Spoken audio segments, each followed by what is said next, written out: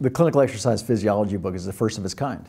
It's the first time that the American College of Sports Medicine has produced truly an exercise physiology book that is nothing except dedicated to the clinical part of what we do. Well, there's a void right now in, uh, in the academic market, both for undergraduates and for graduate students, in clinical exercise physiology. There's, there's really only one or two books that are dedicated to this topic.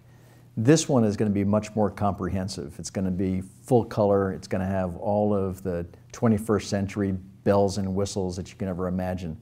So it's going to fill a void for undergraduate students, particularly advanced undergraduate students, and for graduate students in clinical exercise physiology. Uh, the most unique part of the clinical exercise physiology book is going to be that for the first time, that I know of, at least in the publishing business, is going to be a full color book and it's going to be a comprehensive book.